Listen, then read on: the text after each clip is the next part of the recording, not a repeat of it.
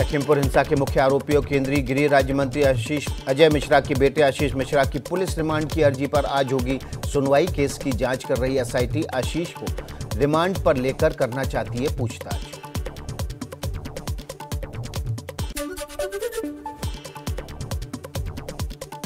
शनिवार को 12 घंटे की पूछताछ के बाद आशीष को गिरफ़्तार किया गया था। आशीष को 14 दिन की न्यायिक हिरासत में भेजा गया था।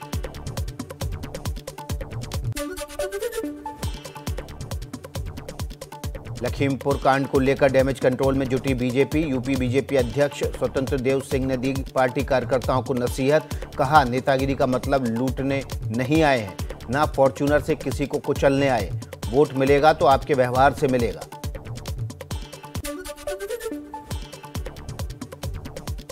लखीमपुर हिंसा को लेकर महाराष्ट्र में सत्तारूढ़ गठबंधन का महाराष्ट्र बंद का मिला जुला असर अघाड़ी के सहयोगी दलों, शिवसेना, एनसीपी और कांग्रेस तीनों ने इसको पूरा समर्थन दिया है। बंद आधी रात से ही शुरू हो चुका है। हालाँकि महाराष्ट्र सरकार ने साफ़ कर दिया है कि अति आवश्यक सेवाएँ चालू रहेंगी। इनका बंद पर कोई असर नहीं होगा। हालाँकि अघाड़ी के राज्य बंद का रिटेल ट्रेडर्स एसोसिएशन ने विरोध किया है। एसोसिएशन का कहना है कि पिछले 18 महीने से जारी लॉकडाउन से उन्हें पहले ही बहुत नुकसान हो चुका है। अब त्योहार के मौसम में इस तरह का बंद ठीक नहीं।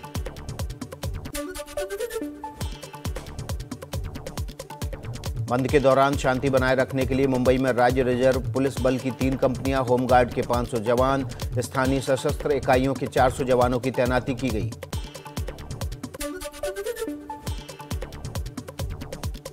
कांग्रेस महासचिव प्रियंका गांधी ने वाराणसी रैली में कहा कि सोनभद्र, उन्नाव, हाथरस और लखीमपुर के पीड़ितों ने न्याय मांगा, लेकिन सरकार से उम्मीद नहीं है।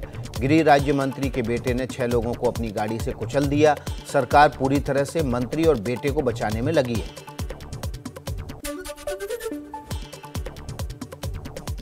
लखीमपुर कांड के सभी आरोपियों की गिरफ्तारी और केंद्रीय गृह राज्य मंत्री अजय मिश्रा की बर्खास्तगी की मांग को लेकर आज देश भर में मौन व्रत। कार्यक्रम का आयोजन करेगी कांग्रेस।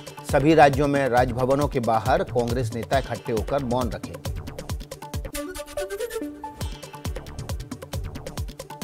एआईएमआईएम अध्यक्ष असुद्दीन ओवैसी ने पूछा, आशीष की जगह उनका नाम अतीक होता तो क्या उसके घर पर बुलडोजर नहीं चढ़ जाता?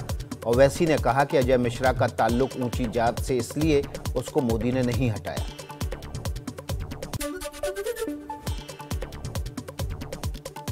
किसान नेता राकेश टिकैत ने कहा कि केंद्रीय मंत्री अजय मिश्र को भी गिरफ़्तार किया जाए, क्योंकि वह भी 120 बी के आरोपी हैं। टिकैत ने कहा कि वह जाँच को प्रभावित कर रहा है, ऐसे में उसे तुरंत प्रभाव से बर्खास्त किया जाए।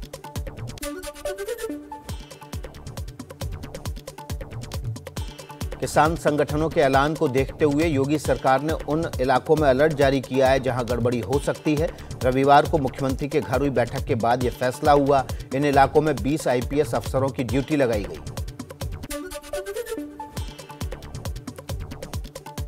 जम्मू कश्मीर के बांदीपोरा, अनंतनाग में सुरक्षा बलों की बड़ी कामयाबी, अनंतनाग और बांदीपोरा में एक एक आतंकी ढेर।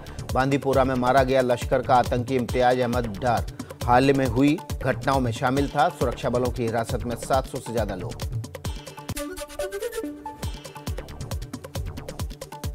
कश्मीर से पकड़ेगा संदिग्धों से पूछताछ में बड़ा खुलासा। आईएसआई की कश्मीर में बड़े पैमाने पर आतंक फैलाने की साजिश। कई बड़े धार्मिक और स्थानीय नेता आतंकियों के निशाने पर हैं। प्रधानमंत्री नरेंद्र मोदी आज वीडियो कॉन्फ्रेंसिंग के माध्यम से भारतीय अंतरिक्ष संघ का शुभारंभ करेंगे। इस मौके पर वो अंतरिक्ष उद्योग के प्रतिनिधियों के साथ बातचीत भी करेंगे।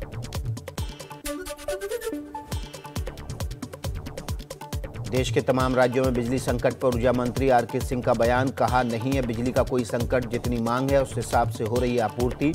बिजली संकट पर लोगों को गुमराह किया जा रहा है। देश में कोयले का पर्याप्त मात्रा में स्टॉक है। बिजली घरों को कोयले की सप्लाई पर कोयला मंत्री प्रहलाद पटेल ने कहा, मौजूदा समय में कोयला आपूर्ति अपने सर्वोच्च स्तर पर है, जिसने आने वाले, जिससे आने वाले दिनों में बढ़ेगा पावर प्लांट का कोल स्टॉक। ऊर्जा मंत्री के बयान पर दिल्ली के डिप्टी सीएम मनीष सिसोदिया ने कहा कि केंद्र के मंत्री के तौर पर जिम्मेदारान रवैया अपना रहे हैं। आँखें बंद करने से कोयला संकट समाप्त नहीं होगा, ऑक्सीजन संकट के समय भी सरकार ने यही किया।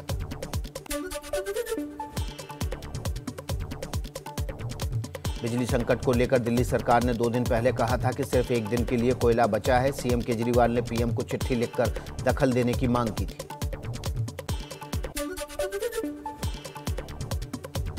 पंजाब सरकार ने केंद्र में कोयला सप्लाई सुनिश्चित करने की अपील की। सीएम चरणजीत सिंह चन्नी ने कहा कि धान के सीज़न में बिजली की खपत बढ़ी, कोयले की कमी चिंता का विषय।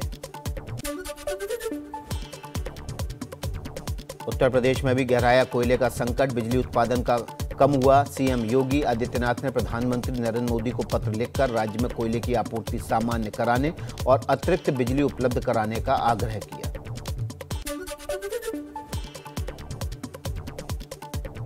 देश में वैक्सीनेशन का आंकड़ा पंचानवे करोड़ के पार, केंद्रीय स्वास्थ्य मंत्री मनसुख मांडविया ने कहा कि आने वाले दिनों में देश 100 करोड़ डोज लगाकर रचेगा इतिहास। क्रूज ड्रग्स मामले में शाहरुख खान के बेटे आर्यन खान समेत तीन लोगों की जमानत अर्जी आज सेशन कोर्ट में दायर हो दायर हो सकती है। शुक्रवार को लोअर कोर्ट ने जमानत याचिका पर सुनवाई करने में असमर्थता दिखाई थी।